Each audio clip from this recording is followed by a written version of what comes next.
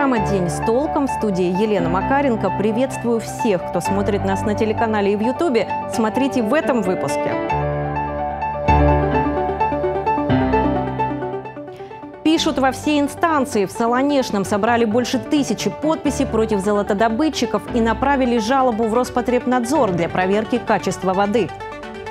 Заполонили улицы и дворы. Жители спального района Барнаула жалуются на нашествие крыс – Цирковые помосты, клоуны и артисты балета в музыкальном театре. Премьера знаменитой оперетты «Мистер Икс».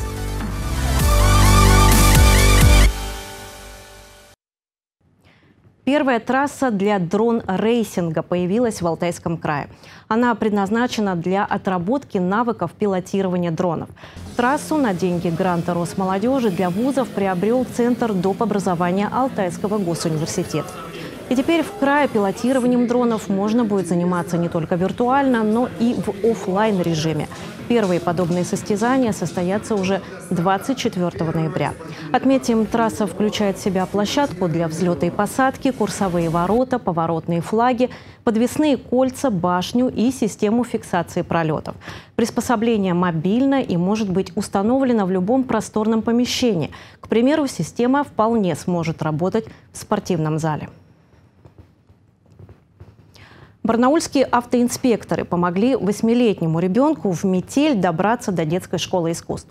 У девочки, которая шла одна в непогоду, сел телефон и не было денег на проезд. В итоге юная жительница Барнаула подошла к сотрудникам полиции и попросила связаться с ее отцом – не дозвонившись до него, инспекторы ДПС решили довести второклассницу до образовательного учреждения на патрульном автомобиле. Они передали школьницу преподавателю, который позже связался с отцом девочки.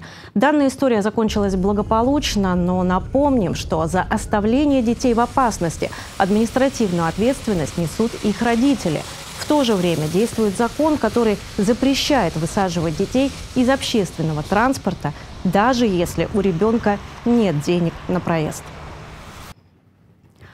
В Солонешинском районе сегодня состоялся сход жителей. Главной темой стала золотодобыча на территории муниципалитета.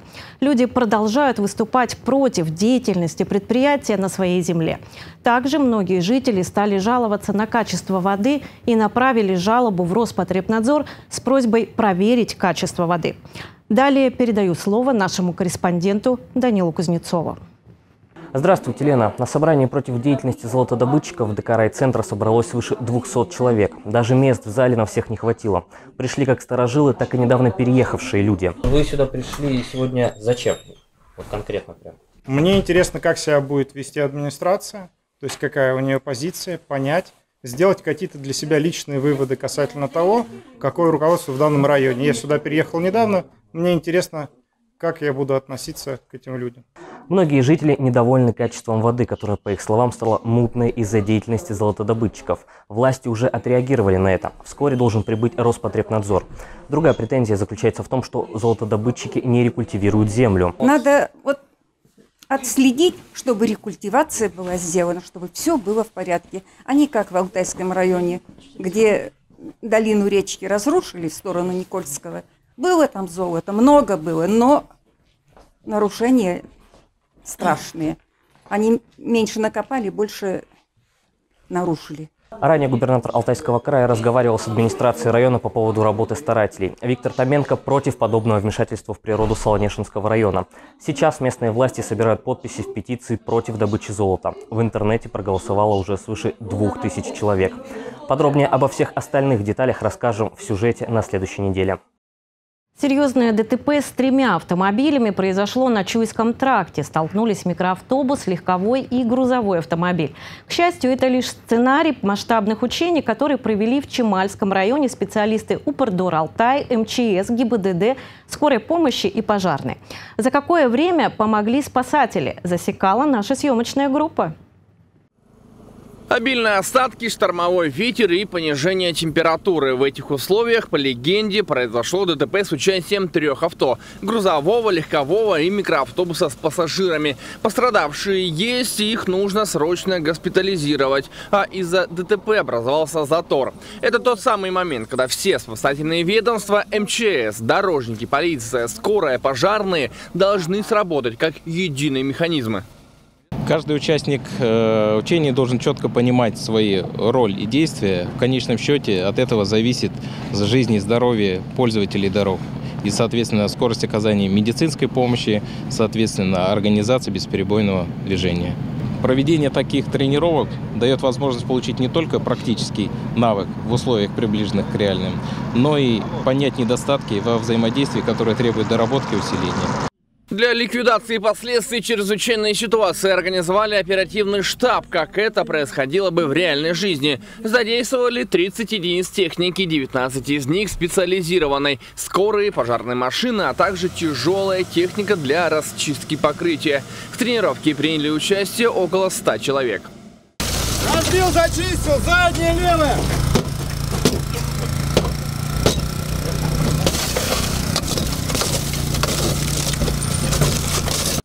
По легенде, водитель легкового авто оказался заблокирован. Спасатели разбирали машину на части.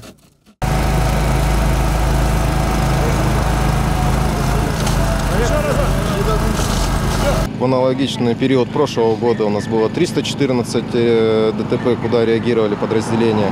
Спасено в текущем году 25 человек. Теперь на арену выходят дорожные службы. Убрать машины и очистить трассу от щебня. Считаю прошедшие учения, которые мы сегодня провели, цели учения достигнуты. Личный состав э, получил и закрепил имеющийся навык. Считаю, что мы готовы к э, эксплуатации дороги в зимний период. Ну и дай бог, чтобы это чаще оставалось только на учениях а не на основной нашей работе. До этого мы уже провели учения в Астраханской области и в Омской области. По плану вот ближайшие будут учения в Новосибирской, Кемеровской и в Республике Якутия. Пострадавшие, хоть и по легенде спасены, замерзшие согреты, после 30 минут с момента ДТП дорожное движение восстановлено. Спасательные ведомства сработали на отлично, но хорошо, что такой сценарий лишь учебный. В ближайшие дни в крае прогнозируют ухудшение погоды, будьте осторожны на дорогах. Дмитрий Дроздов, Дмитрий Денисов, День с толком. Сети интернет вне закона. Такое может быть, если провайдер использует для размещения своего кабеля опоры ЛЭП без разрешения энергетиков. Балтаэнерго проводит регулярные рейды, чтобы обнаружить посторонние провода на своих опорах. Почему подобное самоуправство может стоить провайдерам не только дополнительных расходов, но и даже жизни? То, что глобальная сеть опутывает весь мир для энергетиков не метафора. Новые нити оптоволокна на своих опорах находят регулярно. Именно находят, потому что провайдеры часто протягивают их без ведома энергетиков. У нас есть перечень опор, на которые не, не, не разрешается подъем. То есть они дефектны, то есть на них нельзя вешать оптику, они, они вешают. Также надо соблюдать габариты от земли и от фазного провода. Нелегальные провода мешают энергетикам во время ремонта своих линий. Размещая оптику на ЛЭП, самовольно провайдеры создают аварийные ситуации и рискуют жизнью, ведь можно попасть под напряжение. Кроме того, они отказываются от арендной платы. Как рассказали в Алтайэнерго, сети в крае и Республике Алтай изношены на 80%. Средств на их обновление, заложенных в тариф, не хватает. Поэтому дополнительный доход важен, даже если это около 100 рублей за использование одной опоры. Впрочем, на провайдеров больше действует судебный иск или вовсе вовсе крайние меры.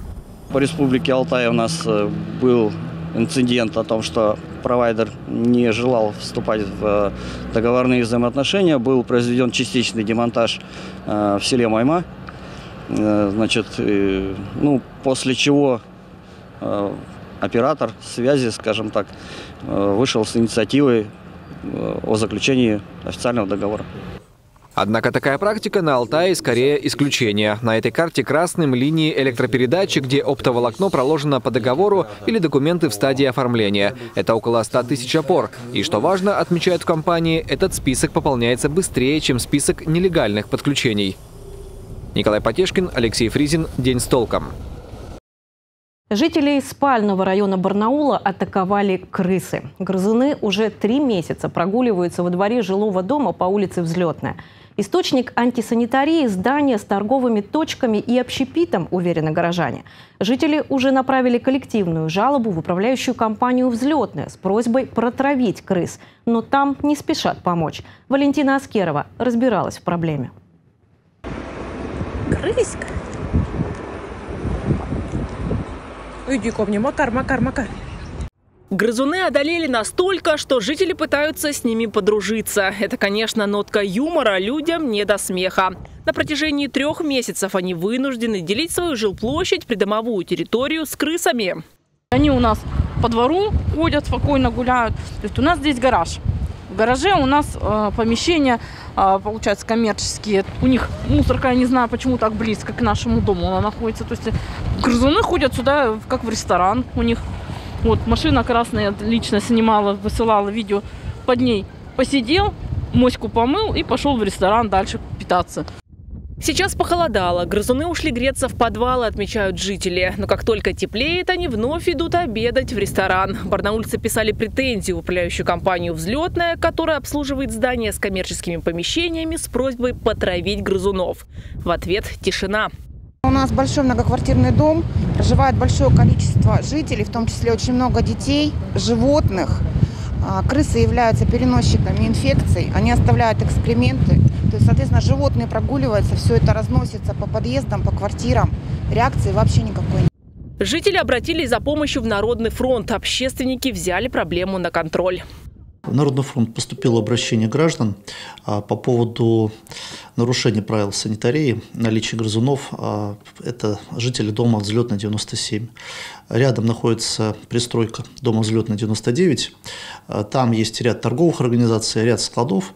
И, судя по всему, и место распространения мышей, крыс, что граждане видят. Народный фронт направил обращение в Роспотребнадзор для того, чтобы разобраться в этой ситуации и держит ситуацию под контролем.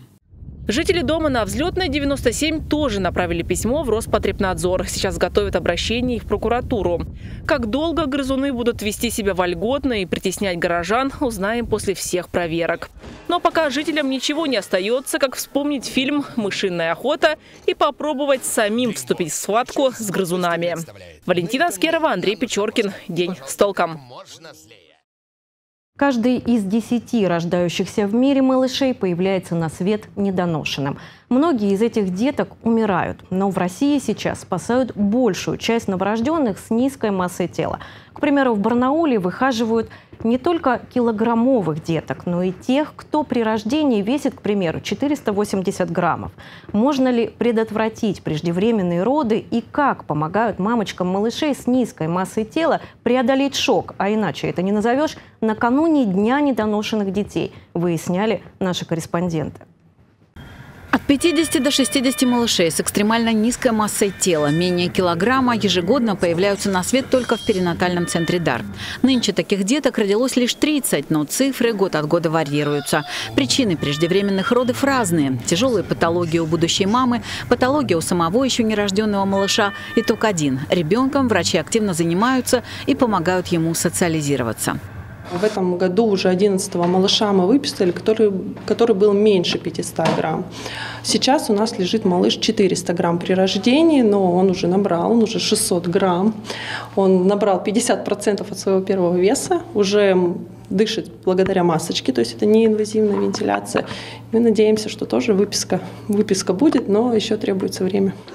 Время для адаптации требуется не только малышам, но и их мамам. Преждевременные роды для большинства женщин не просто стресс, это шок. Сейчас все позади, но три года назад организм Олеси из-за проблем со здоровьем дал сбой, и у нее родился малыш весом кило триста.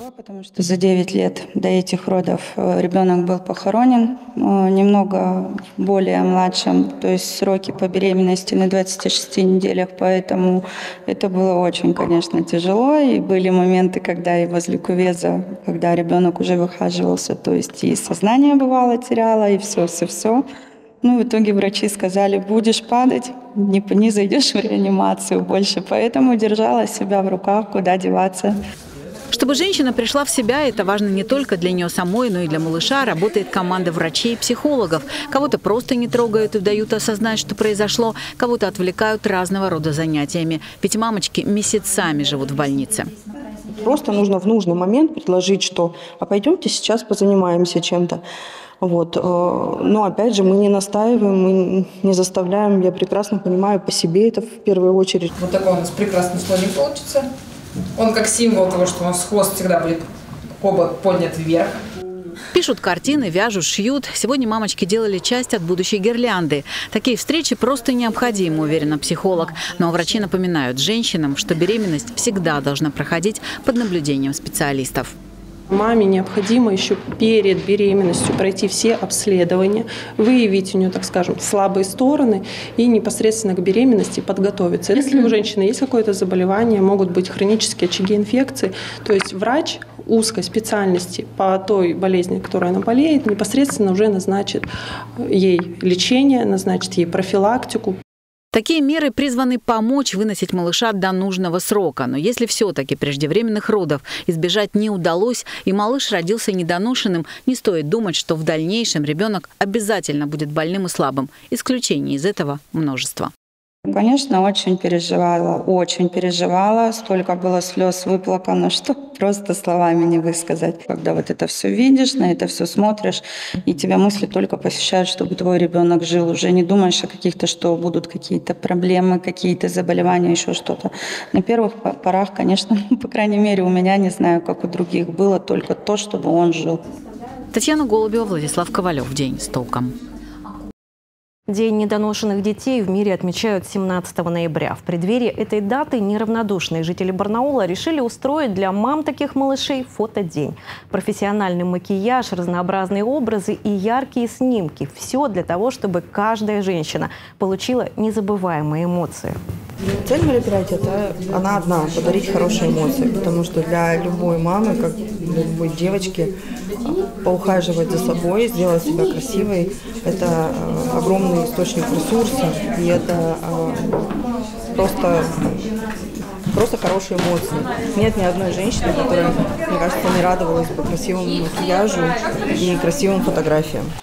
Такое мероприятие проходило впервые. Его посетили 10 мам. Наносила макияж героиням дня юная визажист Барнаула Варвара Кольченко. Каждая женщина ощутила себя фотомоделью и насладилась общением и заботой. Ну, такие мероприятия, конечно, нужны, потому что позволяют э, из будней, так сказать, сделать ну, такой субботний праздник, пообщаться с девочками, посмотреть, что ты не одна такая, которой нужна поддержка.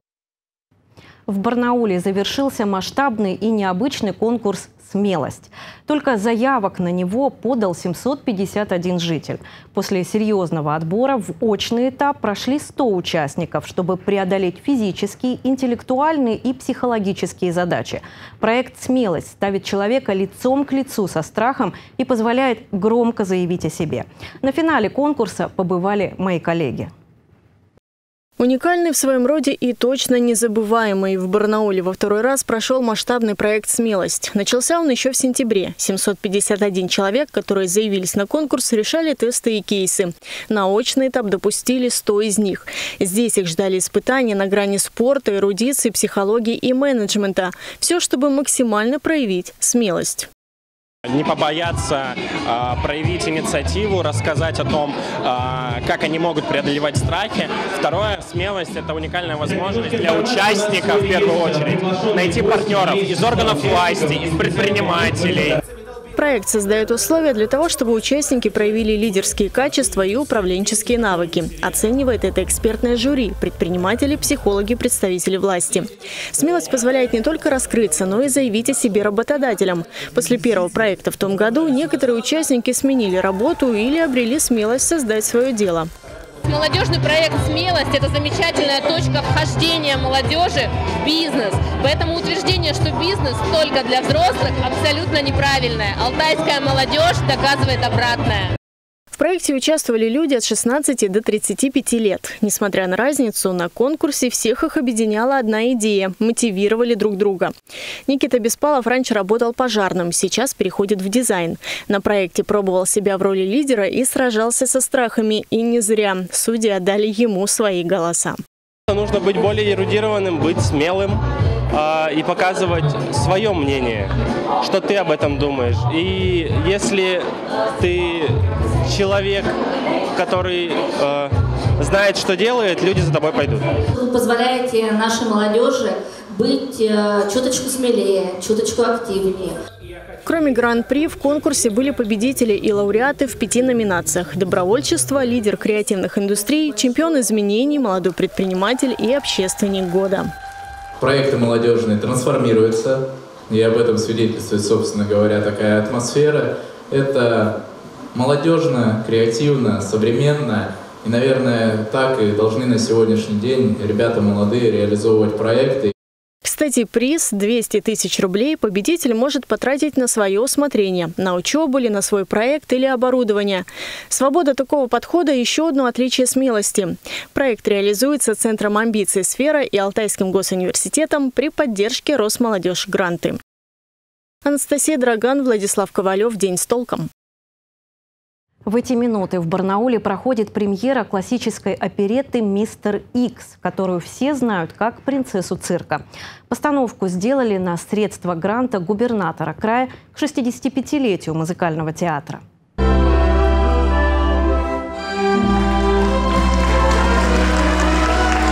Режиссер оперетты Сусанна Цирюк из Санкт-Петербурга. Она долгое время буквально специализировалась на классических операх и опереттах.